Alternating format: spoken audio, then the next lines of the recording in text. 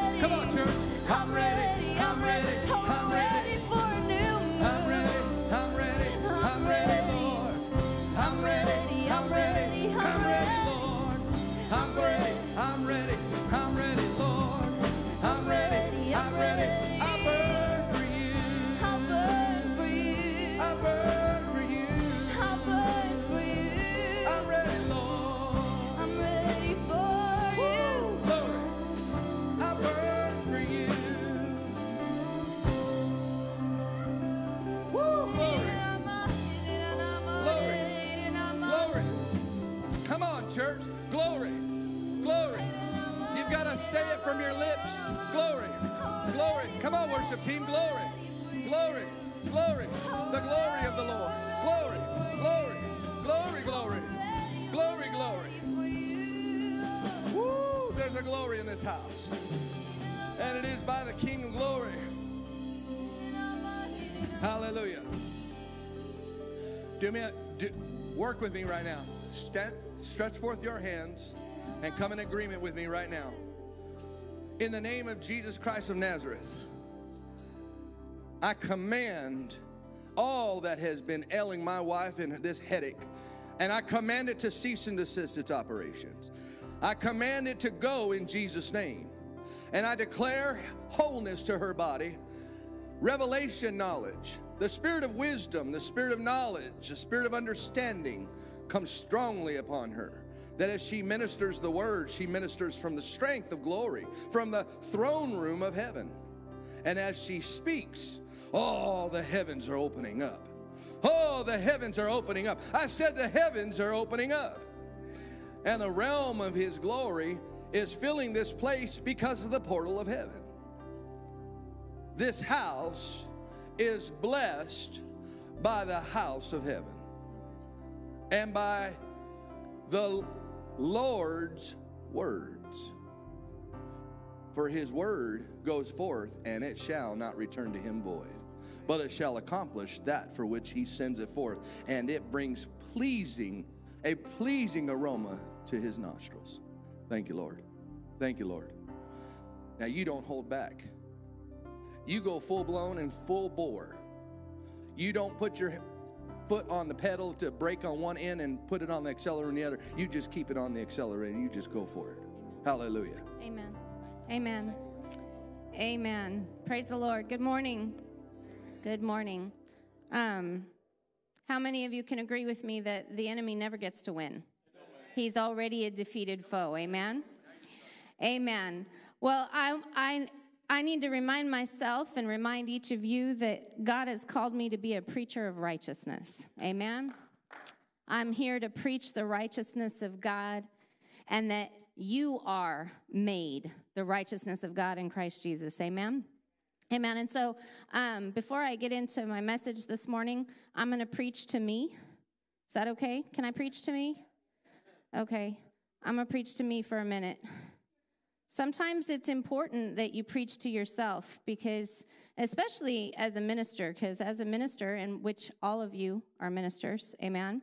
But as a minister, you get so busy ministering to others that sometimes you forget to minister to yourself. And so I'm a minister to myself for a moment, amen. First Peter chapter 2, verse 24 says, who his own self,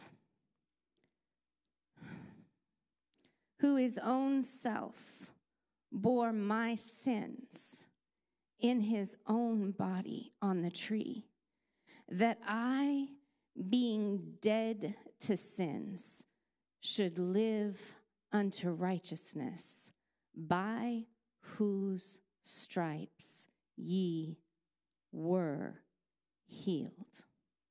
Thank you, Father. Who his own self, Jesus, who his own self, the very righteousness of God, righteousness, bore my sins, mine,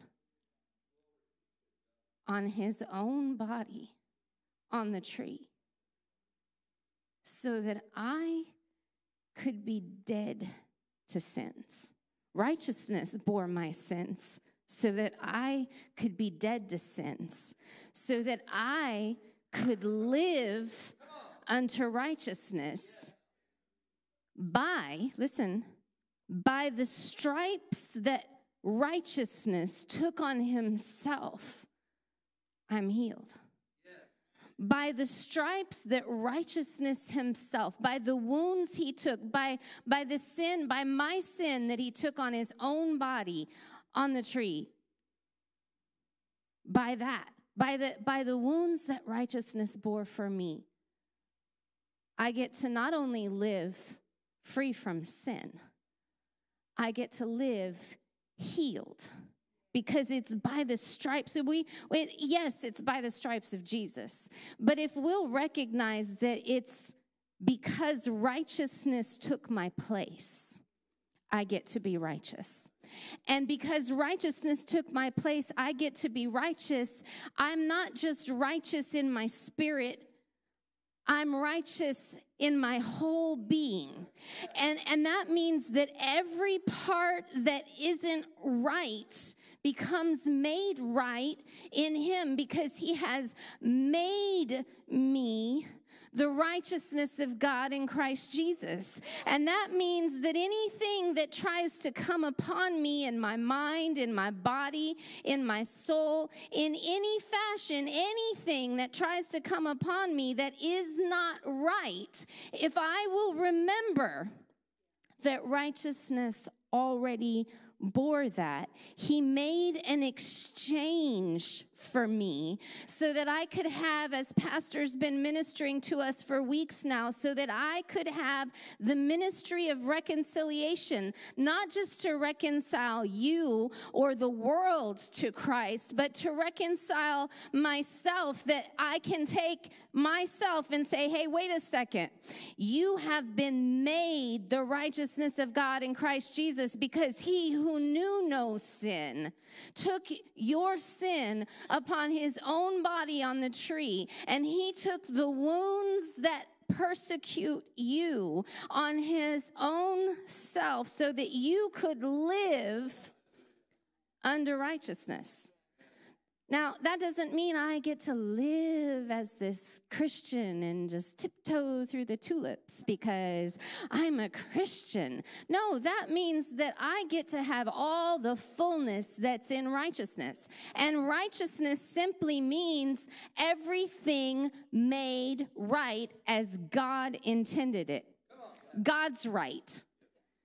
So if my body isn't right, that's not right right?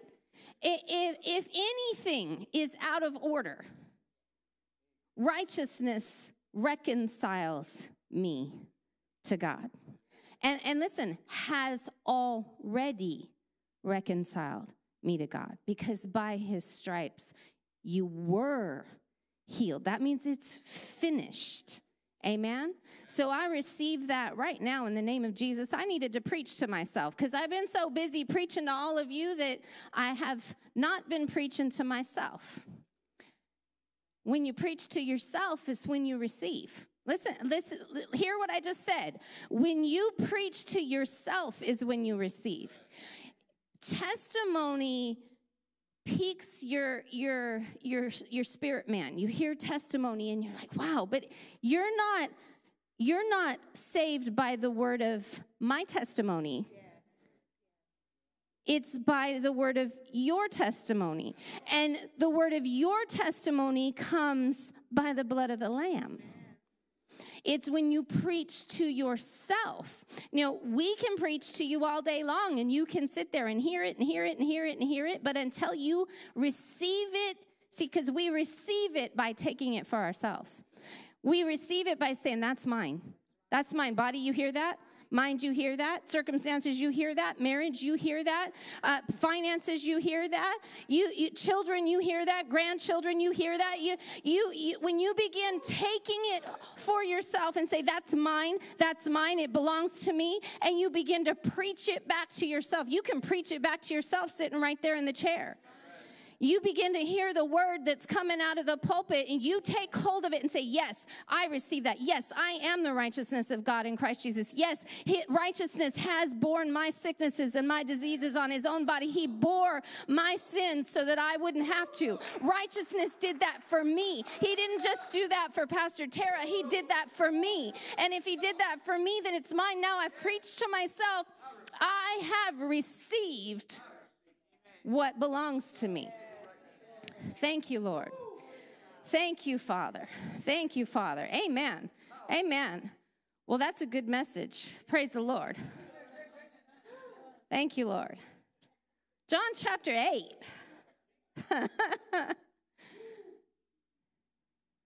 John chapter 8. Verse 12 says, Then spoke Jesus again unto them. I like how it says again. He's like, in other words, listen, in other words, in John, we might be hearing this for the first time. But in the ministry of Jesus, this wasn't the first time he said it. Then spoke Jesus again unto them, saying, I am the light of the world. He that follows me shall not walk in darkness, but shall have the light of life he that follows me.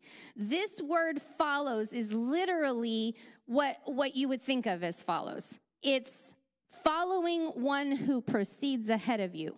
But then it's not just listen, it's not like follow the leader because if I'm following one that proceeds ahead of me, they're always ahead of me.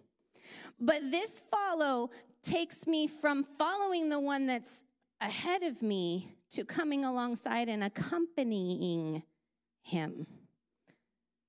I'm part of his company. I'm not just behind, I'm part of his company. I'm with him. He is among me.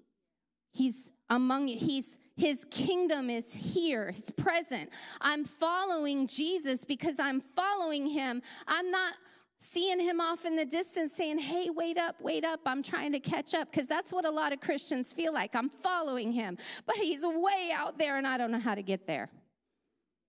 And they feel like they're always trying to catch up and say, Jesus, wait for me, wait for me. I, I'm trying to get there. No, when you're following Jesus, he brings you into his company.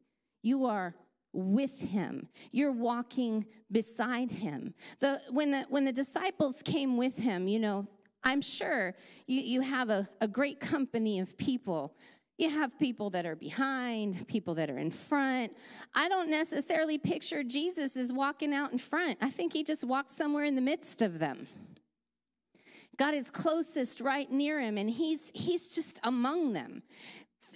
You know, I, I think of it like this um, we have been having gatherings of some sort or another here since we got here right? It's the church thing to do. You have gatherings. We we make food and we have potlucks and we have you know stuff for conferences and there's gatherings and and we have precious people in this house that love to honor their pastors and they want to serve us first and they want to put us at the place of honor and have us sit down and eat. Have you noticed love walk that your pastors don't know how to do that and, and that's really hard for some people to take because you want to honor us. But see, the heart of a pastor, the heart of a shepherd, the heart of Jesus was to be among them.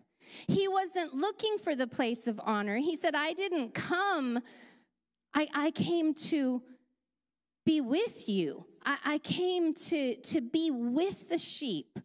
He came to be among us, right? And so, you know, I, I think of most of the time now i eat i ain't ashamed. When, when there is food i'm usually the first in line let me eat because then once i'm once my belly is full then i can minister to all of you. And i can go from table to table and hey i love you you know but uh, you, if you ever notice pastor tara she's right there like i'm not no shame here. Give me my plate let me eat because i know once the visiting begins food isn't going to happen but my husband's opposite. He's like I don't know, make me a plate. If there's any left over afterwards, I'll eat. Right? Oftentimes he doesn't eat at all because even if you hand him the plate, he's busy eating and talking. You could put the plate right in front of him. And probably there's still going to be food on that plate and it's going to get cold because he's too busy being among you. Now, I, I like to be among you too, but I, I like, you know, I, I got to put some food in my belly, right? Right now, now, unless I'm preaching. If I'm preaching, then I don't like too much food in my belly. That's uh, that, it doesn't feel good to have a full belly trying to be talking. That's just not fun. Anyways, that's kind of carnal, but okay. Um, I am the light of the world. He that follows me. That means I'm among the light. The light's among me. I'm with the light. When I, I talked about this last week, when when Light is present, darkness isn't. They're incompatible. Light can never know darkness. Darkness can know light. You can have a dark room, and once the light comes on, darkness is gone. What, what happens? Darkness is like, oh, there's the light, right? But the light can't know darkness because if there's light present, then darkness is in retreat. And listen, it doesn't have to be a very big light. It doesn't have to be a very big light. If light is present, darkness is in retreat. The moment you, you light a candle, you can go from pitch black to light. Oh, it is still dark in there. Yes, but darkness has retreated.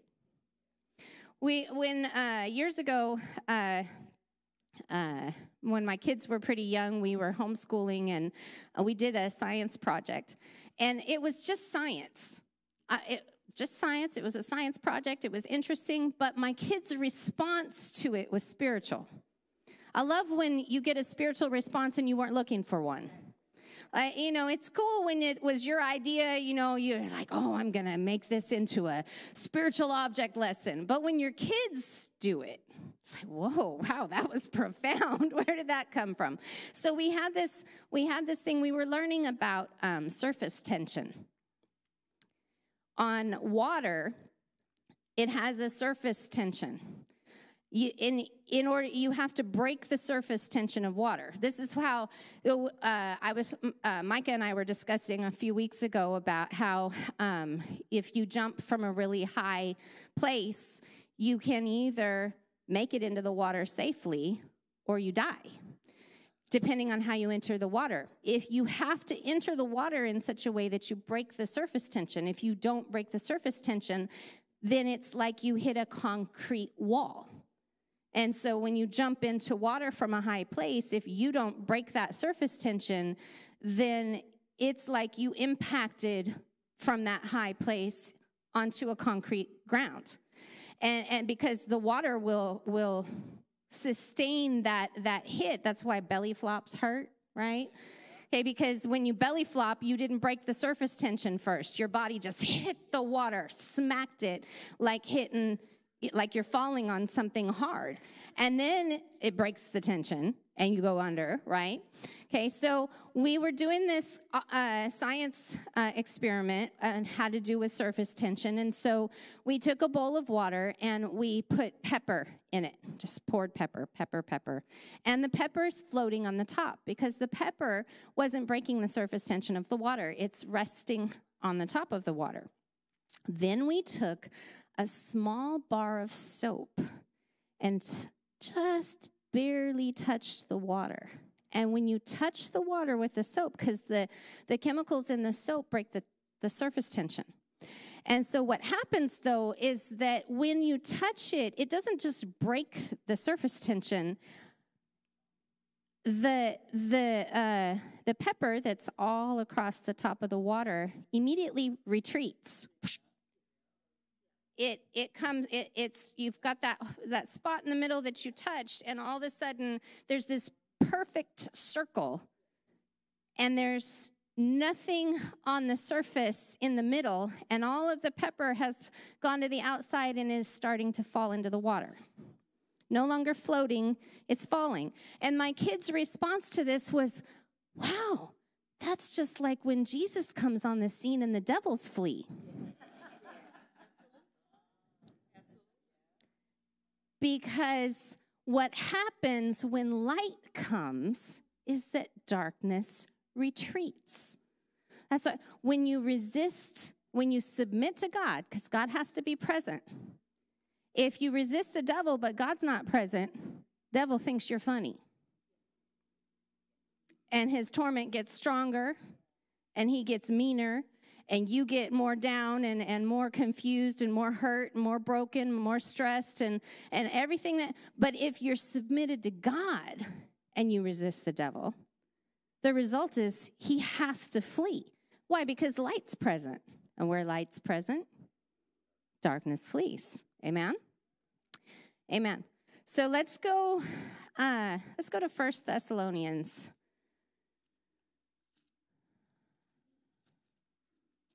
Thank you, Lord.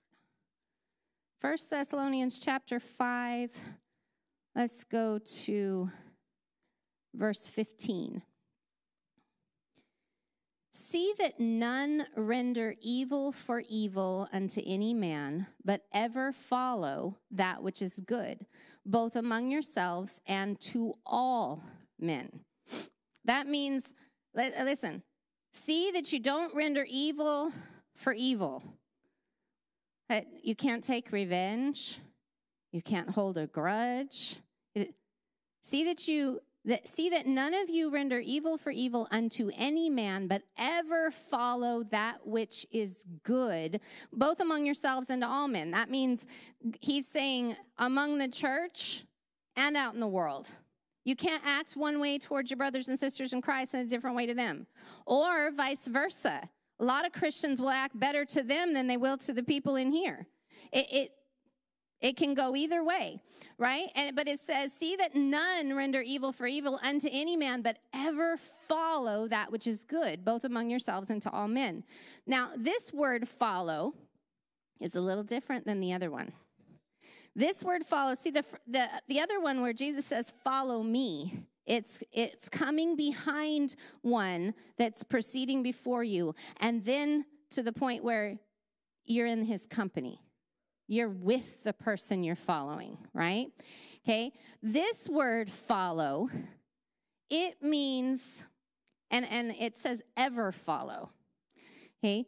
That word ever means always and at all times. Okay. So there, there's no room for, well, sometimes. In this circumstance, there's no room for justification of something other than this. Right? We like to justify ourselves, right? Because, you know, in this situation, it would be okay. Right? Well, let me give you one. This, this one's a really hard one, and I'm not saying that I, I I'm just I'm just throwing it out there. It's the first one that came to my mind. But you'll often hear, you know, I would never hurt anybody unless unless they hurt me or they hurt mine. I would never, I would never hurt anybody, but if, right, yeah. Now, now I get it because we're emotional creatures, and and you know, I'm, i mean, I'm a mom. So many of you are parents. I understand the concept, I, and and I can't say that as a mother, you know, or as a wife, I can't say how I would respond because I have no. If I'm not in that situation, right? Okay? So I'm not trying to imply that, oh, you better never, you know. I'm just saying that we make justifications for when we can, but this is ever, always, and at all times. Okay? God's way of doing things isn't our way of doing things, but He's fully aware of our situation down here. right? Okay, but ever follow, this word follow, ever follow, always and at all times follow. This word follow means to run swiftly in order to catch, to run after, to press on as one that reaches, that seeks to reach a goal, uh, like as in one who's running a race and you're looking to cro- cross the finish line. Okay, to seek after eagerly, to earnestly endeavor to acquire. This means this is my aim. I'm aiming at it. I'm aiming, I'm going after always and at all times. I'm aiming at following after good. Now, this same word here is uh, in another passage that I've been using here recently. Let's turn quickly to 1 Corinthians 14 1, and if I could have that in the Amplified, please. Same word follow. 1 Corinthians 14 1 Amplified. Eagerly pursue and seek to acquire this love. Make it your aim, your great quest. Okay? If I'm if I'm eagerly seeking after doing that which is good, isn't that in the same category as seeking after love? Right? Cuz I'm seeking after good, right? Now, good in this world is subjective, but good isn't subjective to God. Good falls under the category of his love. It's not it's not subjective to God. Here on this planet, you know, amongst human beings, uh, good is subjective to your situation. This is good, but this isn't. But it might be good for you, but it's not good for me, right? Because good, we we have a, a hard time using that word accurately, right? Okay, so we're to seek after and pursue and eagerly seek to acquire love, and we're to seek after and pursue and eagerly uh, seek to acquire good. And, and not just good as in gaining good, but as in doing good, right? As opposed to rendering evil for evil. Okay? All right, so let's go to Mark chapter 10. We're all good? Mark chapter 10. Let's start at verse 17. And when he, Jesus, was gone forth into the way, there came one running. I think we often miss that part. There came one running. He's running. This guy, this guy isn't just in the crowd. He hears of, sees Jesus, and he takes off running, okay? When he was gone forth into the way, Jesus, when Jesus was in the way, there came one running and kneeled to him and asked him, Good master, what shall I do that I may inherit eternal life? Verse 18. And Jesus said unto him, Why do you call me good?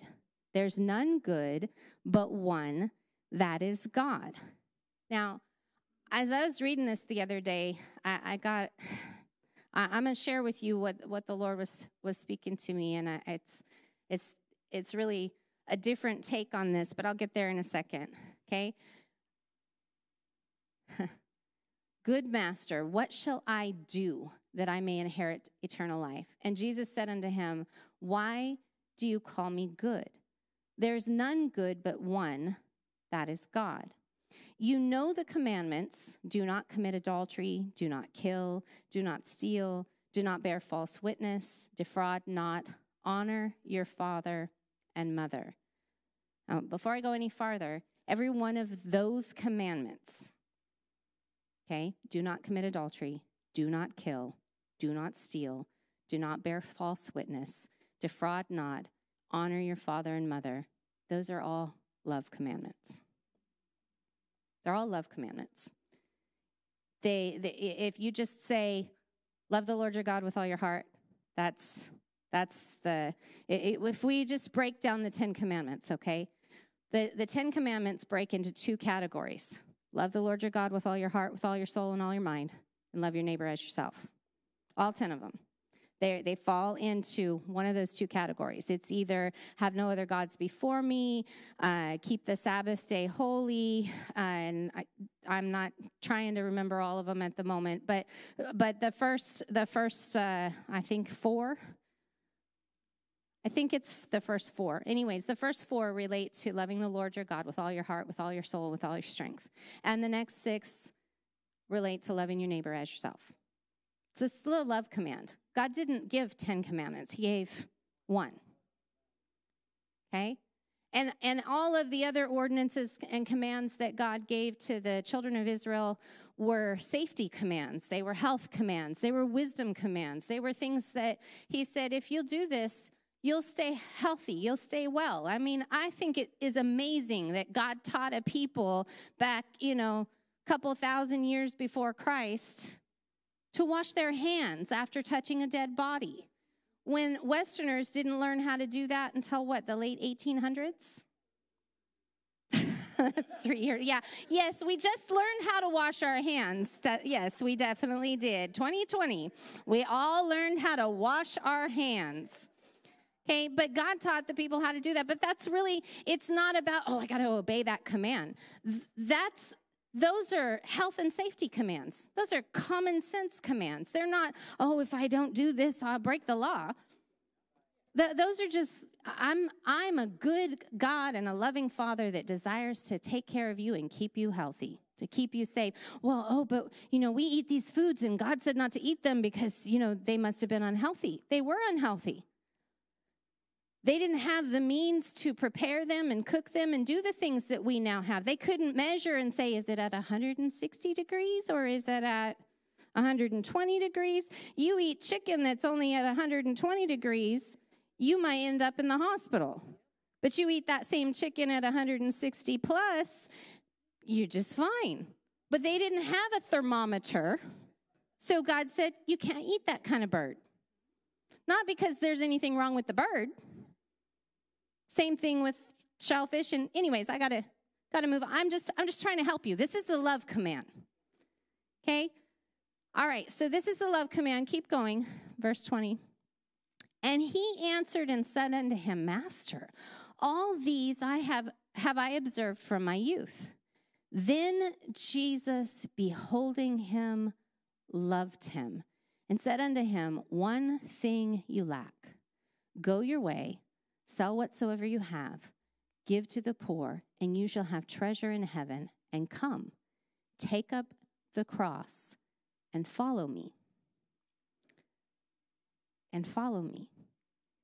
Come be part of my company. Now I want you to I want you to observe what's happening in this passage. This man came running to Jesus. I've always looked at that scripture there where Jesus says, Don't call anybody good but God. And then sometimes, you know, we can get caught up into, Oh my goodness, I can't use the word good. That only belongs to God. And, and we, can, we can get kind of weird about stuff like this. It, it's, this is what the Lord showed me the other day, and it's, it's something I've never seen before, and you can take it or leave it. I don't really care.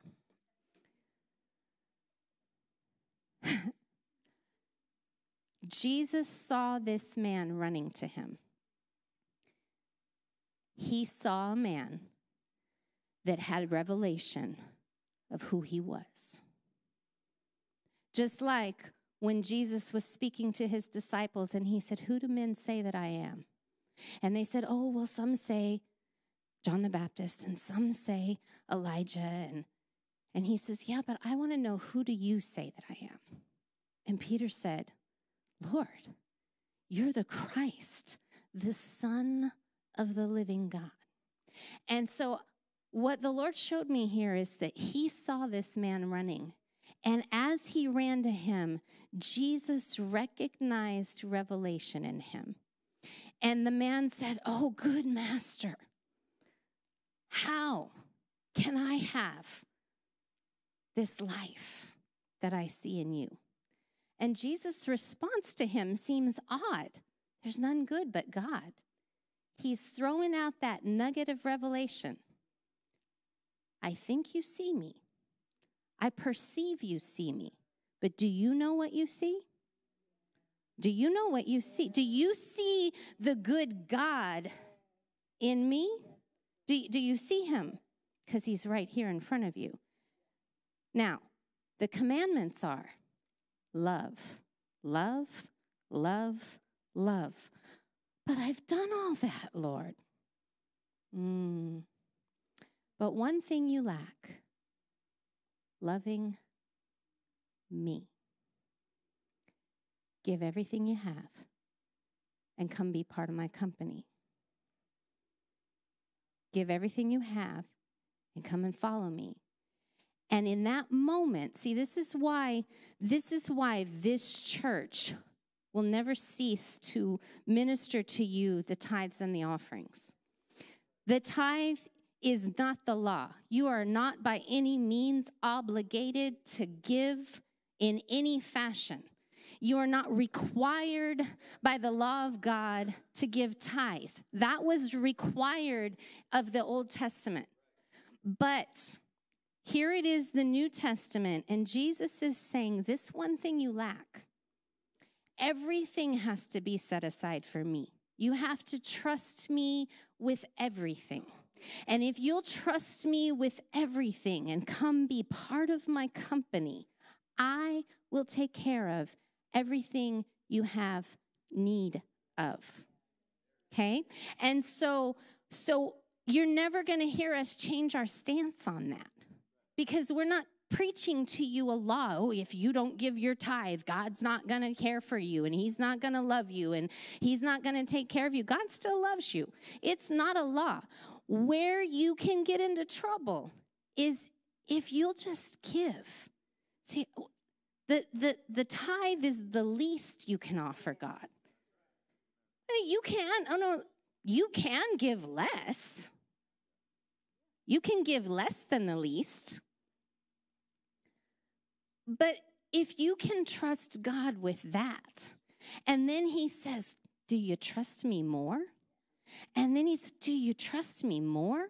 And to this man, he perceived his revelation, and yet the man's revelation wasn't strong enough to keep him because that money and those possessions had a bigger hold on him than the revelation of the good master he saw in front of him.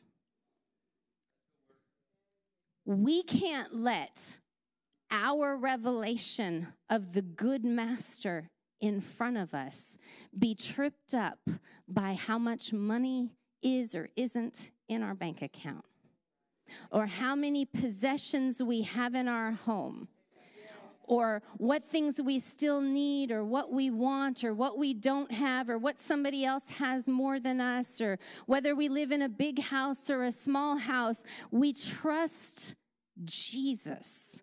We trust the Father because He's good. Because if we will follow His command of love and trust Him with everything that we have, he saw this man. I love how he looked at him. He looked at him with compassion and loved him. He, because he saw, he, he saw his heart, he saw the revelation, and he also saw his response. He saw it before he did it.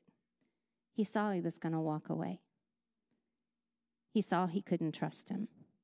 He saw he wouldn't follow him. But his heart leapt. Jesus' heart leapt inside of him when he responded. He, he, he saw the revelation. This man came running to him. He saw the Christ, the Son of the living God. And yet, the money, the possessions kept him from following him. You, are never going to hear us change our stance. There's people out there that are changing their stance, and there's people out there who have different opinions. And, and listen, they can have all the opinions that they want. But you can't convince me otherwise because I've seen what God has done for me, and not because I give enough, but because I trust Him. Because I trust Him and I honor Him, and, I, and He is more important than what I have.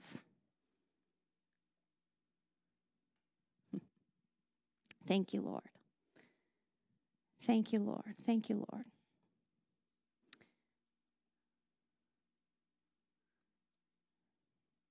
Let's go to um, 1 John chapter 4.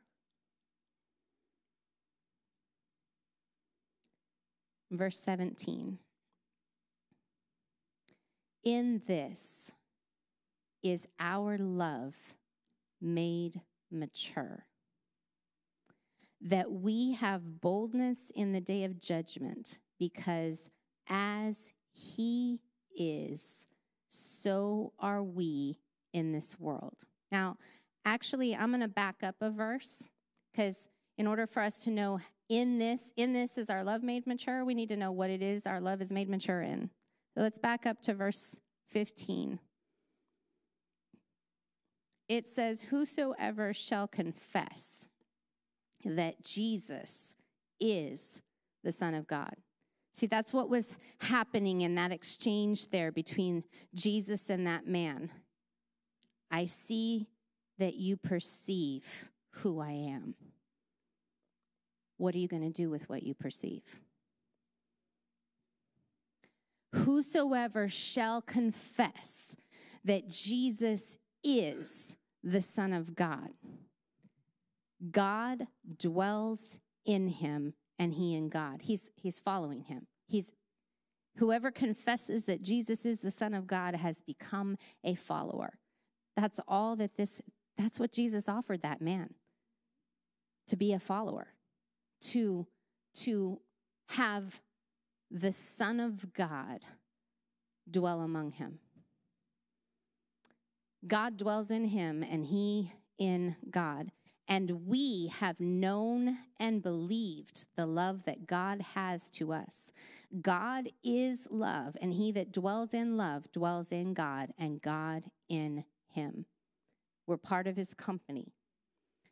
We're part of his company, and in that position, as part of his company, love is made mature in us so that we can have boldness in the day of judgment because as he is, so are we in this world.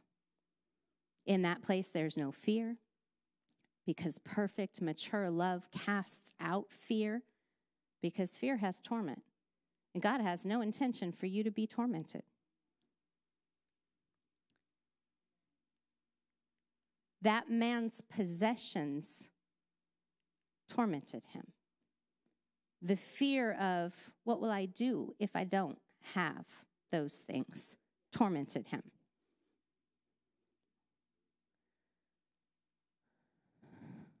In the Passion Translation, starting at verse 15, it says, Those who give thanks that Jesus is the Son of God live in God, and God lives in them.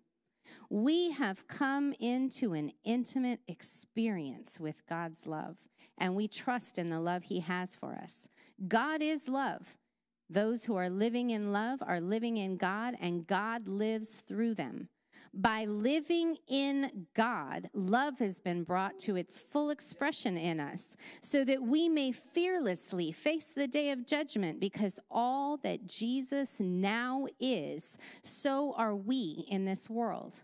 Love never brings fear, for fear is always related to punishment. See, that man thought he was being punished. A lot of Christians think that they're being punished because they got to give a certain amount. You don't have to give a certain amount. We get to give. And it's not a punishment because, in a place of trust, not fear and obligation, God's able to exceedingly abundantly above all that we ask or think meet our needs. Amen? But love's perfection drives the fear of punishment from our heart from our hearts. Whoso, whoever walks constantly afraid of punishment has not reached love's perfection. Our love for others is our grateful response to the love God first demonstrated to us. Anyone can say, I love God, yet have hatred toward another believer. This makes him a phony, because if you don't love a brother or sister whom you can see, how can you truly love God whom you can't see? For he has given us this command whoever loves God must also demonstrate love to others. Love the Lord your God with all your heart, all your soul, and all your strength, and love your neighbor as yourself. Amen. Amen. Well, I praise God for the word, and I praise God for his righteousness at work in my body and in your bodies and strengthening us. And he is a good God, and it is going to be a good day. Amen. Amen. Amen. Thank you for joining us today. If you'd like to partner with us, please visit our website at lovewalkcc.org or you can reach us by mail at 13319 Wallisville Road, Houston, Texas 77049. Remember, continue to walk in the extravagant love of Christ.